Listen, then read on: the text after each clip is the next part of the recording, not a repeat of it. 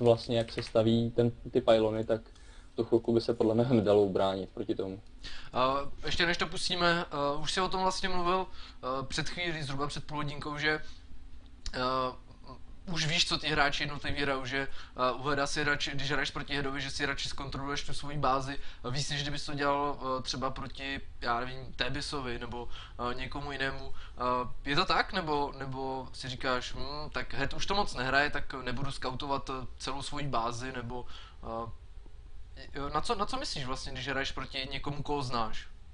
Ne, tak, tak třeba jako, to, to jsou takový typový příklady, tak když si, když si vemu Headhuntera, tak u něj vlastně ne, že bych přímo očekával číst, ale hraju proti němu tak, že vlastně uh, si kontroluju ty čísla. To znamená, jo. vždycky si scoutnu ty proxy pozice, vždycky si třeba na tady Antize bych si vždycky scoutnul tu pozici na Canon Rush. Uh, právě si pohlídal buď to Canon Rush nebo Proxy to Gate. Když bych si uhlídal to, že nejde Proxy to Gate ani Canon Rush, tak bych si hlídal, že nejde Gate. A ve chvíli, kdybych si uhlídal, že nejde Gate, tak přecházíme do normální makrohry, kde už, kde už může hrát jako každý proto. Nicméně, když bych hrál třeba s Tevisem, tak uh, u tebe se, se nepamatuju, že by proti mě zahrál Proxy to Gate, takže tam bych asi uh, ne, neposílal tu probu hnedka na, na to skautování těch pozic, ale uh, šel bych třeba právě až gatewayovou probou a šel bych hnedka jakoby do báze, ne, neskautoval bych proxy, mm-hmm. všechny proxy pozice, třeba jenom tu jednu nejoblíbenější, tu nejlepší. Od tebe se bych to určitě nečekal žádný rush, to znamená, nepotřeboval bych stavět tu gateway takhle vepředu, Uh, taky bych od něj určitě neočekával Forgate, takže mm-hmm. nemusím se tolik brát Forgate, tolik bát Forgateu a můžu jít třeba hnedka tech, protože jsem si skoro jistý na 99%, že Tebis také půjde tech. Takže to jsou takový ty dva příklady Headhunter a Tebis, kteří jsou naprosto odlišní, protosové, kdy vlastně uh, po, to, po, ten, po, to, po té době, co už tady hraju na české scéně, tak si takhle o typu těch hráči, co vlastně chodí a můžu, můžu s tím počítat v těch našich vzájemných soubojích a tak nějak se na to připravit. Mhm, takže můžeme pustit? Hm, můžem. Takže 3, 2, 1, jedem. To je věc, krátký replay. Uh, toho Canon Rushe je velice důležité, jak jsem říkal, skautovat. To znamená, potřebujete co nejdříve naskautovat, že ten váš soupeř ten Canon Rush jde. A když už ho jde, tak hlavně nepanikařit a udělat vlastně ty správné kroky. To znamená stáhnout dostatečný počet prop, nezapomenout pylony na uh, zeloty, které budete když tak vyrábět. Jakmile máte vlastně možnost, tak postavíte Forge jako counterforge na, na, tu, na, to, na tu soupeřovou a vlastně postavíte kanon, který vás ubrání. Mezitím všechny jeho kanóny, které on vlastně staví, tak eh, se snažíte snipnout, případně pokud, uh, což tady teda Headhunter šel, takže tady našel ten, ten dobrý spot, kde vlastně nemůžu snipnout ten kanon, tak se snažíte snipovat všechny pylony, dokud vám vlastně nevyleze buď to váš zelot a vlastně pomůže vám s tím snipováním, nebo dokud si nepostavíte ten vlastní kanon.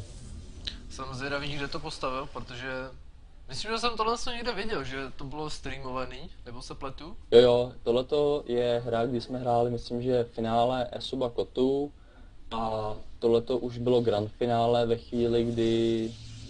No, bylo to finále Kotu, myslím si, ale myslím si, že to bylo už grand finále a to jsme hráli snad první nebo druhou hru, takže mm-hmm. to bylo finále Kotu.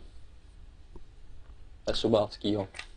A vidíme, že teda už het už staví forčku, já se teda podívám, jestli je proxy, ne, není to proxy. Ne, het staví u sebe. Uh, tady uh, ta proxy se podle mého spíše staví na těch mapách pro dva, kde vlastně ten scout tak nějak očekávaný, že přijde hned. A když by třeba teďka Het uh, jakoby neměl tu forge tady, měl by ji někde postavenou na mapě, tak já ve chvíli, kdybych stejně přijel a viděl bych, že nemá chronoboost uh, jakoby nasejvovaný na, na tom svém Nexusu, tak v tu chvilku bych uh, spíš očekával Forge, jakoby Canon Rush, než oh. Proxy Gate.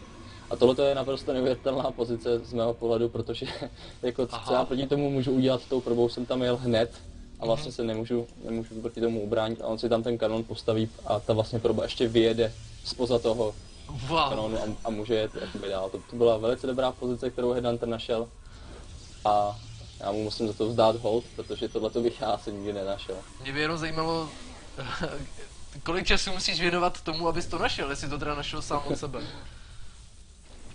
Tak já jsem vlastně využil čtyři proby na snipnutí toho kanónu nahoře. Uh, a všechny vlastně proby, všechny, všechny pozice, které dole můžu, teďka se snažím odehnat ty proby, aby, aby mohl útočit ten zelot na ten pylon. Vlastně ztratím jenom dvě proby pouze v tomto útoku, což je velice dobrý, přijatelný počet pro mě a v tuhle chvilku už vím, že jsem hodně vepředu, takže akorát uh, bych si pohlídal, aby tady het nes- nestavil nějaký dal- další pylony okolo těch uh, kanónů a snipoval bych ty pylony spíš než ty, než ty kanóny. Mhm. Hodně dobrý Tak- místo. Hmm. měl, jsem, měl jsem v této hře trošičku štěstí, že jsem ho scoutnul na první pozici, nicméně i tak, i kdybych ho nescoutnul na první pozici, tak bych vlastně, já jsem viděl tu probu, která vyjela nahoru a přijela k té gateway, takže hnedka potom jsem v zápětí posílal svoji probu dolů, protože mi bylo jasné, že ve chvíli, kdy head přijede nahoru na rampu a hnedka se vrátí, tak tu chvilku očekávám, to je nějaký cheat, protože proč, proč jinak by se vracel hnedka, takže jsem hnedka posílal probu dolů a, a bohužel on se zapajl, zapajlonoval tak rychle, že tam ta proba ani nestihla dojet, přestože jsem ji poslal hned. Takže to je taková pozice, kterou podle mě je, myslím si, že by mohla být trošičku opravená. Het ještě mi tady píše, že si nevšiml, že nemá napájený, že klidně měl ještě prachy, Hmm. ale to už je, to už je v podstatě jedno, protože uh, jde Tam- o to, jak tam- se to ubránil. Ubránil se to fakt dobře, protože, jak No. už jsi říkal na začátku, um, je, je důležitý vlastně nespanikařit. Uh, já kdyby tohle co někdo proti mě hrál a já bych byl za protose, uh, tak bych nevěděl, jak vůbec na to reagovat. Tak je potřeba právě si vybrat buď to pylony, anebo kanóny. Pokud si myslíte, že můžete snipovat kanóny, to znamená, že je třeba takhle nezavře, jako to udělal Head, že je má otevřené, jako je třeba ten horní kanón. Mhm. Pokud si myslíte, že také můžete obklopit alespoň čtyřmi probami, hnedka jak se staví, tak uh, doporučuji snipovat spíše kanony a počkat si na toho zelota, protože když snipujete ty pylony a právě soupeř eh, třeba jako head, když by místo toho, že vlastně uh, stavěl nahoře hnedka kanony a když by místo toho postavil pylony třeba hnedka dva vedle sebe, tak uh, by vlastně napájel dál ten spodní kanon a i přesto, že by třeba eh, jsem to ubránil, tak bych ztratil 6-8 prop a byl bych pozadu vlastně s inkamem. To znamená, eh, je důležité si vybrat pylony nebo kanony, nespanikařit, stáhnout dostatečný počet probů, ale zase ne všechny, protože když stáhnete všechny, tak pak nemáte suroviny na ten vlastní kanon a na vlastní piloty, takže je potřeba tak nějak čtyři proby na stavějící se kanóny a případně co nejvíce prob na pylony, pokud si myslíte, že můžete vysnipovat pylony a ubránit se tímhle tím způsobem. A Je lepší zaměřit se na ty, na ty kanony, než na ty pylony, i protože eh, kanon má o 100 uh, HPček míň, než pylon. Určitě, určitě. Pylon, eh, pylon se staví rychleji a má více HPček a Mhm. kanony se staví pomaleji a mají méně HPček, takže pokud můžete snipovat kanony, jsou lepší kanony, ale uh, spousta protosů teda dělá ty kanony tak, že vlastně na ně nemůžete útočit dostatečným počtem probů, třeba jenom jedním nebo dvěma a to bohužel nestačí na ty kanony, takže tam je lepší potom se zaměřit na pylony a pokusit se tak, aby vlastně nebyly napájeny ty kanony, aby nemohly střílet a vysnipovat všechny pylony v dosahu a tím vlastně se ubránit, než vám přijde, než vám přijde jeden až dva zeloty, protože s těmi zeloty potom už se ubráníte velice jednoduše. Mhm. A ještě něco vlastně k, kdyby třeba zkus, kdyby tam postavil, už to už si vlastně říkal, kdyby postavil ty dva pylony nahoru. Hmm. Kdy- Kdyby stavil pylony nahoru, tak bych stáhnul asi už úplně všechny proby, co bych tam měl. Uh, já jsem teda měl dostatek vlastně minerál na to, abych postavil ten kanon, nicméně já jsem viděl, že se ubráním, protože jsem snipoval ty dva pylony dole a žádný nestavil a už jsem měl venku zlato, takže jsem věděl, že se ubráním a díky tomu jsem tedy svůj vlastní kanon nestavil, protože jsem nechtěl být o dalších 150 minerálů pozadu. Ale pokud by vlastně začal stavit i pylony nahoře, tak já bych využil co nejvíce probů na to, abych vystampoval všechny ty pylony, co by šly. A hlavně bych začal stavět jeden kanon, tak aby ten kanon Mhm. právě na ten kanon dole. To znamená, že když bych vlastně mezi tím stavěl svůj vlastní kanon a všechny pylony, co by šly, tak snipoval, tak uh, dříve nebo později by se ten kanon dostavil a ten jeho spodní kanon by zničil.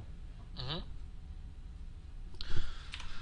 Takže pro dnešek asi všechno, probrali jsme teda úplně všechno, kromě uh, defnutí Trigateů for, uh, vlastně Forgate Trigatem, proti někomu naživo třeba, nebo tak. Ale No, to, naživo- to, můžeme to zkusit uh,